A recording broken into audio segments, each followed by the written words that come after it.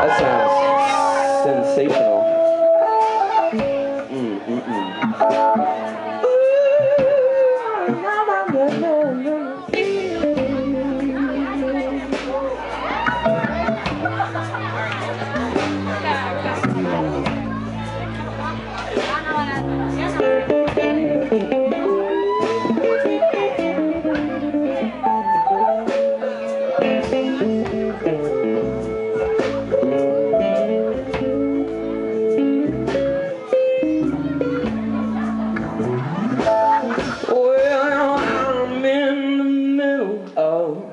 What you might call a fantastic kind of breakdown.